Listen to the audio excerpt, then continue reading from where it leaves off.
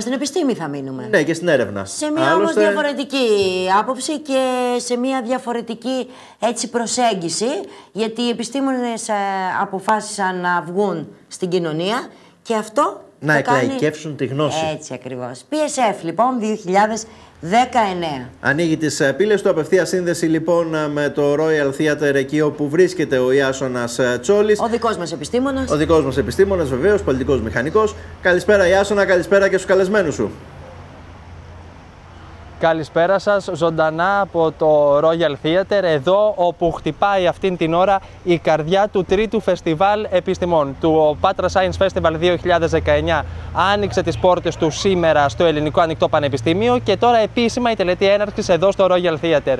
Η τελετή έναρξης με τρεις διακεκριμένους επιστήμονες και ερευνητές, οι οποίοι από λεπτό σε λεπτό θα ανοίξουν επίσημα την αυλαία του PSF 2019 μοιραζόμενος ο καθένας ε, την, ε, τη δική του όχι ιστορία, τη δική του διάλεξη. Λοιπόν, ο κύριος Μάρκος Δανέζης δεξιά μου, ε, Μάνος Δανέζης, συγγνώμη, δικό μου λάθος, αστροφυσικός, ε, μέλος του Σώματος Ομότιμων Καθηγητών του Πανεπιστημίου Αθηνών, κύριε Δανέζη, τα λέω καλά.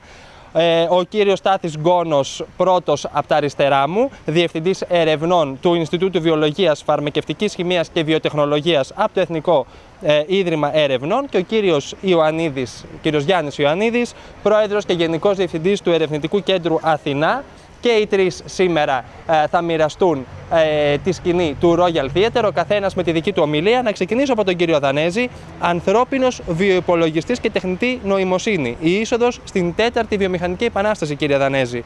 Μπαίνουμε λοιπόν στην τέταρτη βιομηχανική επανάσταση; Θα πρέπει και στην Ελλάδα να μπούμε στην τέταρτη βιομηχανική επανάσταση, γιατί όλος άλλος κόσμος, ο δυτικός τουλάχιστον πολιτισμός, με την ευρύτερη έννοιά του, έχει μπει ήδη.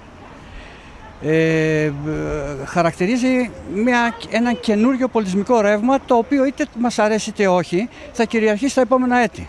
Αυτό σημαίνει ότι η εκπαίδευση των συμπολιτών μας πρέπει να είναι και στοχευμένη από ανθρώπους οι οποίοι γνωρίζουν το αντικείμενο αυτό διότι θα αναγκαστούν κάποια στιγμή οι πολίτες και δυστυχώς αυτό συμβαίνει σήμερα να αποπροσανατολιστούν σε δευτερεύοντα θέματα τα οποία δεν αφορούν αυτό τον πολιτισμό το καινούργιο. Δηλαδή, αυτός ο πολιτισμός στηρίζεται επάνω στην τεχνητή νοημοσύνη, στη σχέση ε, της τεχνητής νοημοσύνης με καινούργια φυσικά φαινόμενα που δεν έχουν καμία σχέση με τα παλιά, με κβαντική φυσική. Ένα αύριο που δεν γνωρίζουμε, ένα, ένα μέλλον που δεν γνωρίζουμε. Το οποίο γνωρίζουμε, αλλά δυστυχώς... Το αγνοούμε; Ε, το αγνοούμε, τα αγνοεί όμως πολίτης βέβαια, όχι, ο, όχι οι ερευνητές, οι ερευνητές και τα λοιπά, οι επιστήμονες. Δυστυχώς σήμερα η εκπαίδευση είναι τέτοια ώστε όταν συζητάμε όλα αυτά τα θέματα ακούμε διάφορα περίεργα πράγματα, ότι αυτά ε, είναι μεταφυσικές, ότι αυτά δεν είναι Πολύ σωστά, σημαντικά αυτά τα οποία λέει ο κ. Δανέζης ότι, ότι, την επόμενη Δυστυχώς, μέρα. θα πρέπει αυτή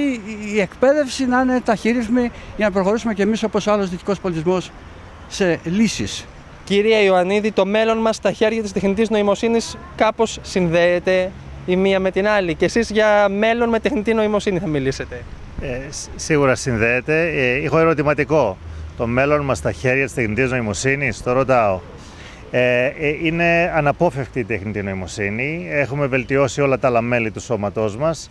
Αυτό που έχει μείνει είναι ο εγκέφαλος ο οποίος οδηγεί την νοημοσύνη και επομένως και υπ' αυτήν την έννοια ε, ήρθε η ώρα να ενισχύσουμε και αυτήν την διαδικασία ε, την ανθρώπινη. Ε, όπως σε κάθε τι υπάρχουν καλές χρήσεις και κακές χρήσεις κάθε τεχνολογίας, σε εμάς τους ανθρώπους εναπόκειται να φροντίσουμε ώστε οι κακές χρήσεις της να περιοριστούν, αν όχι να εξαλειφθούν, και όλες οι κακές να μπουν στην υπηρεσία της ανθρωπότητας με ηθική, με δεοντολογία, για να προχωρήσει η ανθρωπότητα μπροστά. Είναι ένας απίστευτα ενθουσιαστικός κόσμος ο οποίος ανοίγεται μπροστά μας. Η Ελλάδα ε, υστερεί... Δεν πρέπει και να μας τρομάζει από ό,τι λέτε. Σε, σε καμία περίπτωση. Όπως δεν, μας τρώμα... δεν έπρεπε να μας τρομάξει η πρώτη βιομηχανική επανάσταση, έτσι δεν πρέπει να μας τρομάξει και η τέταρτη. Πάρα, πολύ ωραία. Όπως δεν πρέπει να μας τρομάζει και το γύρας. Τα λέω και καλά, κύριε Γκόνε. Βεβαίως, αν και αναπόφευκτο, Αντίστοιχα στις βιοεπιστήμε έχουν γίνει θαύματα και τεράστια βήματα τις τελευταίες δεκαετίες. Να πω ότι η ομιλία σας σήμερα έχει τίτλο Αναζητώντας την αιώνια νεότητα. Ακριβώς, διότι ξέρετε, σαν ένας άλλος ε, Mr. Gray, αναζητούμε πάντοτε να παραμείνουμε νέοι. Εγώ αυτό που θα έλεγα είναι ότι πρέπει να παραμείνουμε υγιείς, πρέπει να παραμείνουμε δημιουργικοί, Πρέπει να αντιληφθούμε ποιοι είμαστε και που βαδίζουμε, ποιος είναι ο προορισμός μας. Και ξέρετε, υπάρχουν τεράστια ερωτήματα. Και ακριβώς με την πρόοδο στις βιολογικές επιστήμες, όπου μπορούμε να διαβάσουμε το γενετικό υλικό, μπορούμε να παρέμβουμε στο ανθρώπινο σώμα μας, όπως είπαν και οι προαλαλήσαντε, υπάρχουν τεράστια ζητήματα στα οποία το κοινό πρέπει να γνωρίζει και προφανώς ένας χώρος σαν το Patra Science Festival είναι ο κατάλληλος ακριβώς για να συζητήσουμε και να μοιραστούν οι επιστήμονες με το κοινό όλα αυτά τα επίγοντα θέματα. Σε λίγη ώρα λοιπόν οι επιστήμονες θα τα μοιραστούν όλα αυτά τα ερωτήματα εδώ από τη σκηνή του Royal Theatre και την ε, επίσημη πρώτη του Patra Science Festival.